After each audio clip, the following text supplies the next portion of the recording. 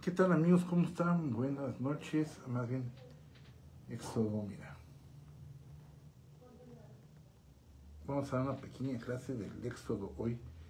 A ver si lo leemos todo en estos viernes. Eh, ok, Éxodo en hebreo se dice Shemot. Shem es nombre, cuando es OT es el plural femenino.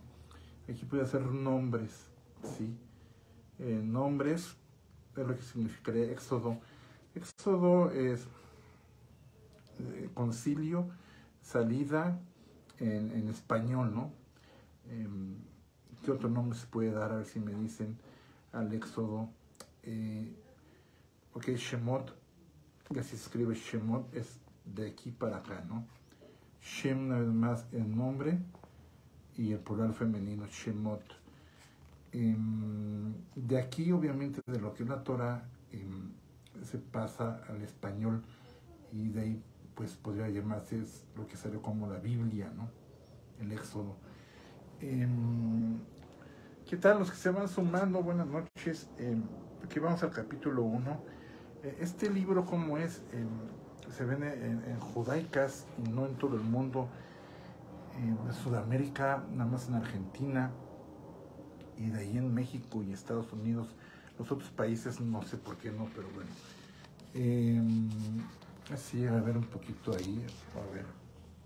Iba a apagar aquí un poquito. Voy a apagar un poquito y aquí el lente para que puedan ver. Eh, viene, por ejemplo, en hebreo. No está aquí. En hebreo. Nada más este pequeño pedacito en hebreo. Y viene aquí, fíjate nada más la descripción, nada más eh, versículo 1, 2 o 3. Y viene luego eh, una explicación de Onkelos, una explicación en hebreo y otra explicación de Rashi. Rashi eh, fue un escritor judío de por ahí de 1900, 1300. Y luego viene otra explicación acá de los rabinos más contemporáneos, por llamarlo así.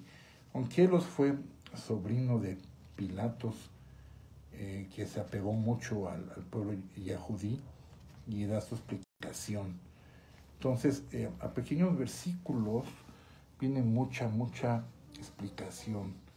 ¿sí? Eh, las letras, bueno, ya les he dado clases de letras, de que cada letra es un sonido. Al decir un sonido, bueno, también eh, do, re, mi, fa, sol, la, si, son notas musicales, son matemáticas y son cosas, ¿va? Eh, ok, Éxodo 1, no sé cómo lo haré más interesante después, ahorita vamos a, a dar una narrativa. Bueno, el primer capítulo nos habla, dice, son los nombres de los hijos de Israel, o sea, los hijos de Jacob, y luego los hijos de Israel, de Jacob, fueron doce. Aquí están. Eh, llegaron a Misraín y con su familia Rubén, Rubén, Shimón, Leví, Judá, cuatro primero. Luego Zahar, Zebulún y Benjamín. Aquí Benjamín, no sé por qué lo pusieron a esta altura, pero bueno. Dan y Naftalí, Gad y Asher. Todas las personas que vienen en grupos de tres, están los doce. Todas las personas que salieron de los muslos de Jacob. Y, y Yosef estaba en Misraim. Yosef José. ¿va? Misraim. Misraim es como, eh, viene de la palabra Misrim y significa estrecho. Ok, vamos a pararnos ahí un poquito. Eh, Misrim, estrecho. O sea, era un pueblo de pensamiento estrecho, los misraínos egipcios. Pensaban estrechamente, o sea, cuadrados, chiquitos, no grandes. Y entonces, Dios, para sacar a su pueblo de allí, va por uno que no tenga mente estrecha. Pensemos diferente sean diferentes, no vayan a lo cuadrado, a lo que todo el mundo les enseña. Vean ustedes por qué, analicen, va. Em, va por alguien que sabe todas las... Eh, un hombre estadista, un hombre estudiado, un hombre joven, agresivo, em, que sabe, em, un hombre que estudia dentro con los mejores maestros, las mejores universidades, la forma de guerrear porque era el hijo del rey. O sea, sabía todas las técnicas de guerra, las tácticas de guerra, el cómo comportarse, el cómo ser el mejor. De ese hombre estamos hablando que fue obviamente Moshe. Moshe significa salvado de las aguas. Ah, vamos a pararnos ahí otra vez. Este, eh, ok. Y fíjate cómo empieza todo con, con M. Hola Esme, encantado de verte. Hola mi querida Anita Montserrat, también encantado de verte Anita. Ok, em, hace mucho que no me hago estudios bíblicos, pero bueno. Ok, vamos a ir viendo Moshe salvado de las aguas. Eso significa Moisés. Moshe. Ay, no borró bien porque no le eché agua aquí a mi franela, pero bueno. Vamos a sacar los plumones mágicos. Tengo varios y. Ok. Entonces, Mitzrim, el que, el que piensa en estrecho, el que es cuadrado, el que necesita que le ayuden. Ajá. Eso significaban los del pueblo de Mitzrayim de, Egipto. Ok, entonces Moshe simplemente se escribe Moshe. Moshe. Eh, creo que brilla mucho. Voy a parar otra vez. Moshe. Es Mo. Moshe. La M, la, la, la, la, mem es, fíjate, no cierra. ¿Sí? Al no cerrar es como el agua cuando fluye, puede estar dentro y fuera. Cuando la M va cerrado, sin, que es, esta también es otra e, e, M, M al final, o sea, la misma, esta, al estar cerrado significa tierra. Cuando está abierto significa agua, o sea, salvado de las aguas. ¿va? Ahora entonces, Moshe, Moisés, fíjate la locura de los nombres en hebreo que luego les he enseñado, ¿no? Moshe, cuando tú lo lees al revés, o sea, al revés sería así. Ah, bueno, vamos a poner la cuadrada, aquí en la misma. Cuando tú lo lees al revés, diría, acuérdate que el hebreo va de derecha a izquierda, ¿va? Si lo lees al revés, diría Hashem. Hashem, el nombre, sobre todo nombre, Dios. Sí. Eh, ellos, eh, los hebreos no dicen eh, Jehová, Yahvé, eh, em, ajá, Jehová menos, Jehová no para nada. Eh, ellos dicen Hashem, por respeto a él, el nombre. Se dice eh, eh, eh, Hashem Hameforash. Hashem Hameforash es el nombre em, sublime, el nombre impronunciable, que es tan grande el nombre de Él que no lo debemos de pronunciar, porque nuestra mente no alcanza a entender lo que es Dios. ¿sí? Entonces es Hashem. Hashem. Ha el. Ja, el artículo. Shem, el nombre. Hashem. Entonces, Moshe significa eh, las aguas, pero fíjate lo que te decía, si volteas el nombre de él, es una bendición, es el nombre de Dios, Hashem. Pero bueno, entonces a, a, a, Moisés, ok, necesitaba, ah, vamos a ir agarrándolo, ¿va? O sea, Dios tuvo que agarrar un nombre diferente para sacar al pueblo de, Egipto. ¿sí? Entonces fue por un gran estadista, por el que estudió con los mejores, con el hijo del rey adoptivo. Sí, podría haber sido su abuelo adoptivo. Entonces salió de lo diferente Moisés. Va, ok. Joseph salió de ahí. Joseph significa el añadido. Dios me añadió. Eso lo dijo eh, la hermosa Lía, porque fue el primer hijo de Lía, tal cual de ella. Dios me añade. Sí, Joseph. Yo, yo de Dios, Sef. Eh, todos los hijos importantes de Dios, fíjate lo raro, cuando dice todos los profetas eh, hablarán de Dios, todos empiezan con Io, con I, y, y Ezequiel y, y, Jehová, um, em, Jesús sería, y, y Jesús se me fue, eh, Shua, Jesús es Yahshua, empiezan con IE, sí. Los nombres más grandes, los que traen la nomenclatura de que van a decir algo de Dios, empiezan con Iah, con Iah. Y Ezequiel, y Esayahu, eh, sí, empiezan con Yah. Isayahu, ¿quién es, quién es como tú, Dios? Wow. Sí, entonces empiezan con, con Fíjate lo, raro de cómo te lleva todo y te va sincronizando en la misma Biblia. Entonces, Joseph, Joseph, eh, el Mesías para los judíos, eh, obviamente pues no es eh, Jesús y uh, Yeshua no es Yahshua, hay quien dice Yahshua, pero aquí Yeshua em, es, ellos dividen a su Mesías en dos.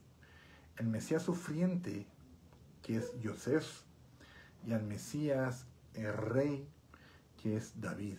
De esos dos sacan al Mesías y de esos dos traerá el mismo, em, la forma de ser para ellos el Mesías. El que va a sufrir y el que va a reinar, los dos tienen que salir de aquí, de lo que te acabo de decir. O sea, la importancia, la importancia de Joseph, de haber sido obediente, de haber sido eh, eh, el hijo querido. Okay. Joseph murió como todos sus hermanos y toda esa generación. Y los hijos de Israel fructificaron y pulularon, se incrementaron y se volvieron muy poderosos. Cuando tú crees en Dios, te vuelves poderoso por la forma de trabajar, por la forma de ser, por la forma de estudiar, por tu sabiduría, por tu inteligencia, por tus lezos, por todo lo que está alrededor, va, cuando sabes hacerlo. Y, em, se, levantó un nuevo rey en Misraim que no conocían a Joseph y dijo a su pueblo, ve aquí que el pueblo, los hijos de Israel, son muy numerosos y, son poderosos más que nosotros. Aunque no tenían el, poder, el pueblo eh, egipcio, aunque tenían las, eh, armas, aunque tenían todo lo demás, no eran tan diestros, tan fuertes como los judíos. Ah, para que vayas viendo. Eh, ¿Por qué? Por lo que acabo de decirte, o sea, la forma de vivir, la forma de comer, la forma de educar, la forma de, ser del pueblo es lo que los hace diferente. Entonces dice eh, el rey, vengan, seamos astutos contra él, no sea que se multipliquen y suceda que si hay guerra, también él se una a nuestros enemigos y nos haga la guerra y suba hasta esta tierra. Entonces eh, puso oficiales y les puso con el propósito de cargar, sí, con el propósito de cargarles la vida a los judíos. Y él edificó ciudades de depósito para el faraón Pitón y Ramsés. Entonces lo que hace este rey es que a los judíos los empieza a poner a, elaborar y hacer eh, edificios, hacer eh, ciudades como Pitón y como Ramsés. Pero al decir a hacer, o sea, los ponen como albañiles, los ponen como lo peor, los ponen la carga pesada, como el albañil peón. Un día me explicaban que dentro de los albañiles había tres, el maestro, el peón y me falta el del medio. Pero el peón es el que, el que carga y el que lleva el trabajo fuerte. Entonces, al pueblo judío lo pusieron eh, eh, como lo peor, ¿sí? ¿Para qué? Para que ya no siguieran teniendo hijos, para que ya no fueran tan fuertes, para irlos disminuyendo. Y así también se incrementaban, pero así como los afligían, se incrementaban, así también se fortalecían. O sea, se volvían fuertes mientras más los humillaban, ¿sí?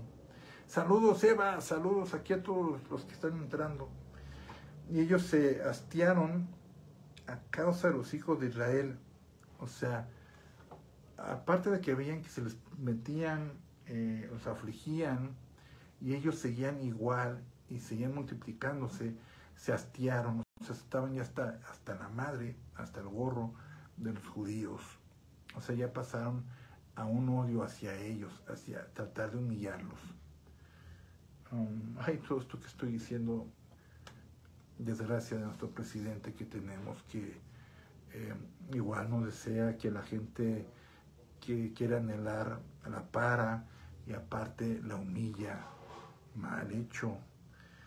Entonces, verso 13, entonces los Mirrim eh, esclavizaron a los hijos de Israel con labor quebrantadora. Esclavizaron y los quebrantaron. Esclavo ya es el que no es libre y aparte los quebrantaban. amargaron sus vidas con trabajo duro, con barro y ladrillos y con todo trabajo de campo. Todo el trabajo que hicieron con ellos era labor quebrantadora.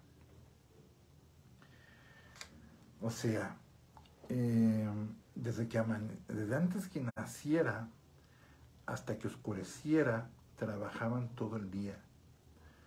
La cuota de cada judío era hacer mil ladrillos. Los hacían con barro y los iban mezclando y, le ponían eh, otra como, como, como mecate o algo para que amarrara el ladrillo y luego los tenían que coser. Pero cada, la, cuota de cada judío era mil al día. De que no la hacía, al ser esclavos, los golpeaban. Sí. Todo eso lo hacían primeramente ya, eh, ya odiándolos y aparte para que ya no se multiplicaran. Y para que ya no se eh, hiciera un pueblo poderoso. Sí.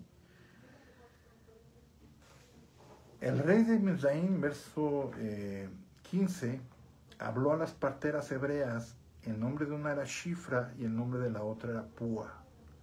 Y fue cuando asistían en el parto de las hebreas y miren el asiento y, miren el asiento del parto. Ah, o les decía el, rey a ellas. Vean cómo nació el bebé. Si era niño, mátenlo. Y si era niña, déjenla viva.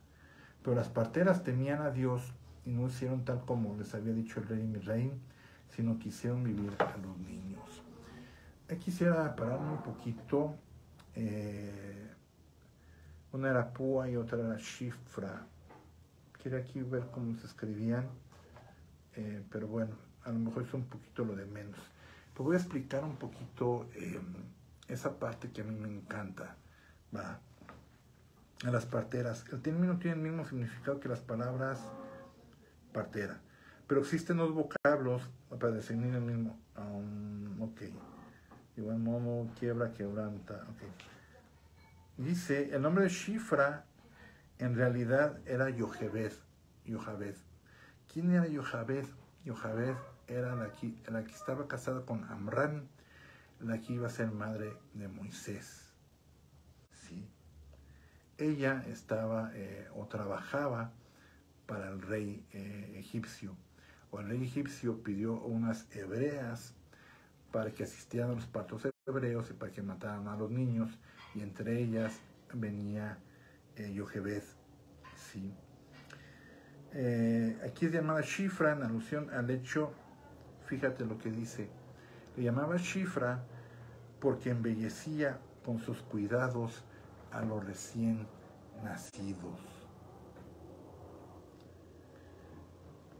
Era una madre, una señora amorosa. Em, esto cuando lo leí la primera vez hace años me, enterneció demasiado porque era como su mote, su apodo, eh, en lugar de decirle Yochebed, le decían Shifra, y Shifra significaba la que embellece con sus cuidados a los recién nacidos. Esto lo llevé eh, hace años a, me acuerdo, me acuerdo una iglesia cristiana y decía, porque era Apocalipsis, y dije, en Apocalipsis dice que hay una piedrecita en la cual viene tu nombre, escrito cuando llegues al cielo. Y esa piedrecita la verá Dios y verá tu nombre que Él te puso a ti. Ese nombre eh, debe ser alguna cualidad tuya. Sí. Porque todo lo que está debajo de la piedra es un nombre de Dios. Eh, es piedra y mi piedra. Todo lo que está debajo del Goal, de lo que cubre una piedra, es Dios la que cubre lo que está debajo. Entonces, por eso dice, eh, debajo de una piedra blanca y hermosa, la voltea y vendrá tu nombre. Em, ¿Qué nombre tendrá para ti? Te puedes llamar Yohaved. Fíjate también aquí, Yohaved. Ya ven lo que te decía. Todos los nombres que tienen que hablar de Dios, que tienen que hablar del Mesías, empiezan con Gio, ok, Yocheved. Eh, a ver si dice aquí eh, qué significa Yocheved. Bueno, ahorita se los doy. Eh, ok. Pero el apodo que tenía entonces la que era tan bonita que le decían que venga la que embellece con sus caricias a los recién nacidos. ¿Qué tan cariñosos somos? ¿Qué tan embellecedores somos con los bebés, con los niños? Más en este país, ¿no? Cállate, sonso, te parece al vecino, no hagas nada, eres un tarado. Va. Embellecer a las personas, embellece a los niños, chifra y la otra era Púa, que en realidad era Miriam, o sea, la hija de Yochebed. ¿Quién es Miriam? La hermana mayor de Moisés y de... Ay, Dios mío, el hermano de Moisés, Aarón, era la hermana mayor.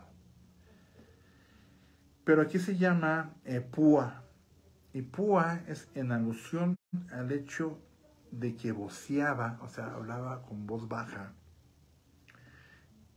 la que hablaba y susurraba a los recién nacidos, como suelen hacer las mujeres cuando tranquilizan a un niño pequeño cuando llora. Ya, tranquilo, tranquilo, hermoso, estás bien. Ah, le habla con ternura, no con cariño.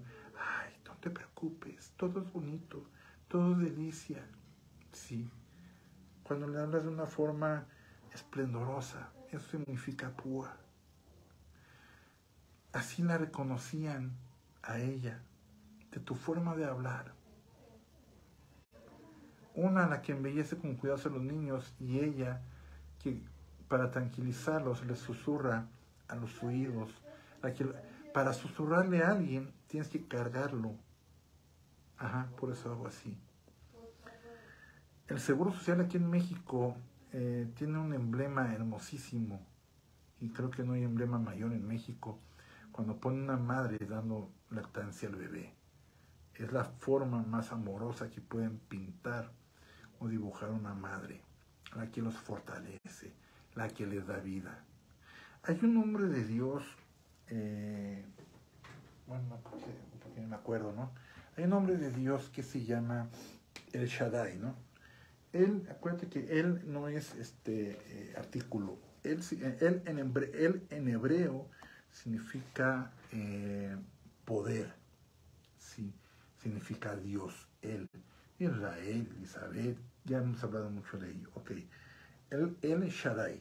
Ajá. Él, él eh, Shaddai. El Shaddai. Eh,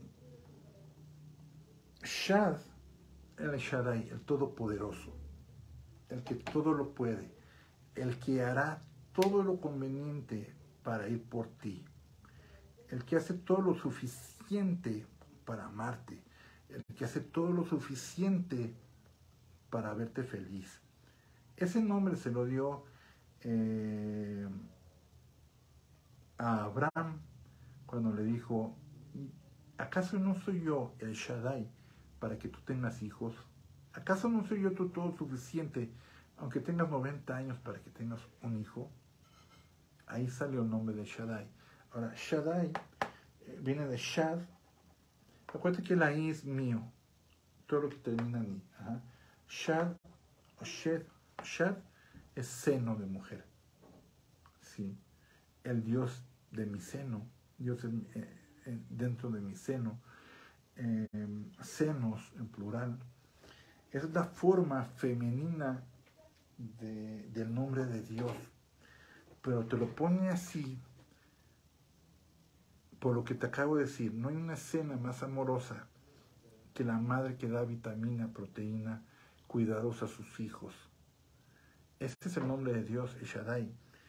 Y es el nombre de cuando las em, parteras pueden cargar a los bebés y embellecerlos o susurrarles para mejorarlos.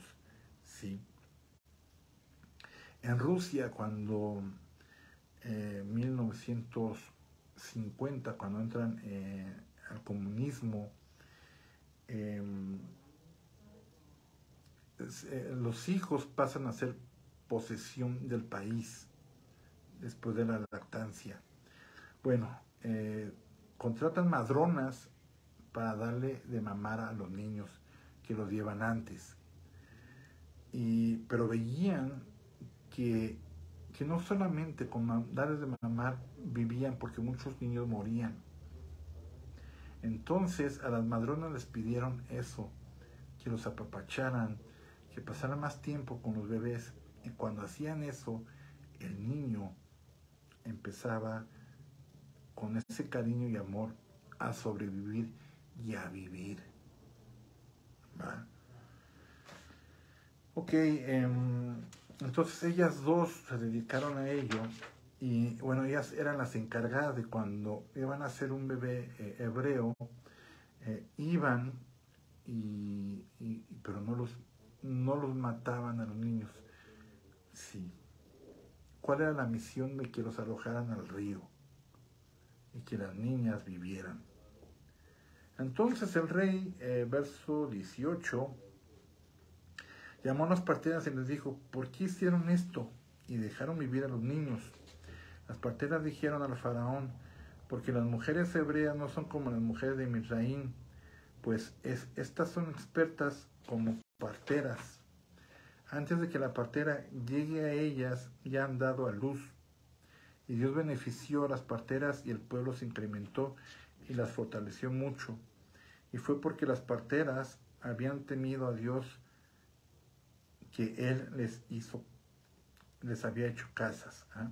Entonces el faraón ordenó a todo su pueblo diciendo, a todo niño que nazca, arrójenlo al río, pero dejen vivir a toda niña. Sí, el odio del faraón, del rey, eh, por el pueblo judío ya. Ya no había tanto eh, saludos hasta Atlanta, esperanza, saludos a Esperanza Martínez, a Ligia, a Chepina, ¿cómo está Chepina? Em, Eva, gracias Eva, Iván, Arenas, a todos los que están pasando por aquí, saludos, a Esme, ajá. Entonces, eh, Faraón, pa, paró, En hebreo es paró. En hebreo es paró, faraón. Em, al, faraón se le dice que es un tipo de, de, Satán, de Satanás, un tipo de Satán, por la forma de conducirse. ¿sí? Saludos desde Guatemala, gracias Ligia, hermoso Guatemala, las pupusas, em, paró, paró, faraón, paró, es eh, pa, pa, paró, sí, em, paró. Si agarramos estas dos y le pongo aquí una E y acá una A, diría perra. Ay, perra. P es hablar y Ra mal. Era un hombre que hablaba mal, un hombre grosero, un hombre, eh, bueno, cuando te lo dice así la Torah es que te da a entender que se expresaba mal de Dios, que él se creía Dios, el paro, faraón. Sí. Era eh, diestro en la magia negra, por eso tenía sus este, magos ahí. No eran magos, eran hechiceros. Sí. Eh, el paro. De ahí viene la palabra faraón, paro. Ah, y, entonces aborrecieron a los judíos. ¿Quién más hicieron em, contra el pueblo judío? En verso capítulo 2, que veremos hoy en 8 y el 3, es que las cosas se van poniendo peores. Em, de mil ladrillos se los pasan a dos mil ladrillos las cuotas. Y al que no terminara las cuotas, em, hacían cosas horribles. Cuotas como, tienes que acabar ese edificio esta semana. Y si no terminas el edificio, los ladrillos, entonces agarraban a sus hijos, los ponían como ladrillos y los empara, emparedaban. De ahí viene emparedado, en la pared. Entonces, si no había ladrillos, ponían al hijo ahí y le ponían cemento y lo cubrían y así moría el niño. ¿Sí? Hola, Noradet. Em, sí. Cosas terribles, tristes y humillantes, ¿no? Con tal de cubrir las cuotas. En, durante el día, pues había ya eh, que les pegaban con látigo, los tenían muertos de hambres, y al que no, pues empezaba a morir también. pueblo afligido, casi toda la historia del pueblo judío pero donde Dios se ha mostrado más grandemente. Sí. Cuando se entera Moshe que es judío y lo defiende, entonces sale de allí, de todas las atrocidades que hacían con ellos. Bueno, este, dudas, preguntas, a ver, cuéntenme, ya les expliqué un poquito de, de todo el preámbulo al que entraremos de Éxodo ¿Qué es el éxodo? ¿Qué es Shemot? Em, éxodo es exilio. Tuvieron que salir 40 años, caminar en exilio para regresar. Ese exilio, cada uno lo tiene que cruzar. Hace poco eh, me habló em, una hermana cristiana y me dijo, Señor, por favor le recomiendo que le hable a tal pastor, que lo ayude, que esto, que el otro. Y no le hablé, pasaron ocho días y me volvió a hablar. Quien se, mm, ya me puso algo en el WhatsApp que me decía, es que usted es muy arrogante y todo. Y entonces ya le dije, ¿no? Le dije, mira, el pueblo judío cruzó 40 años solo. En la vida tú tendrás tiempos de soledad. No se trata de que si estás pasando una situación triste, eh, vengan, te trabajo, oren por ti. Se puede, se puede. Pero em, en mi caso y en muchos casos, esos desiertos los tenemos que cruzar solos. Sí. caminar solo para que puedas aprender. Ahorita me puse aquí un corazón, eh, personas que estén que ir a otro país sin saber cómo me va a ir, pero creyendo que tus sueños serán realidad. Aquí está, se llama eh, Yamilei, me parece. Eh, sí, ir a otros países sin saber cómo te va a ir, pero anhelando que sea mejor. Pero en esos tiempos tú estás solo, caminas solo, luchas solo. El estar solo te va a fortalecer para ser una mejor persona. Cuando estás solo, aprendes cómo puedes decir y dar consejos a los demás de cómo superarlos. Cuando siempre te acompañan o te hacen la vida más fácil, no. Es como el que es alcohólico y le estás diciendo te ayudo, te ayudo, te ayudo. No. Es hasta que él te diga necesito que me ayudes. Antes no ayudes. Sí. Entonces, si ese pastor necesitaba de alguien, ese pastor tiene que haber buscado a alguien y decir, tengo hambre. Entonces sí, de comer. Sí. Entonces no se quieren adelantar otras cosas, pero bueno, cada quien con su cada cual.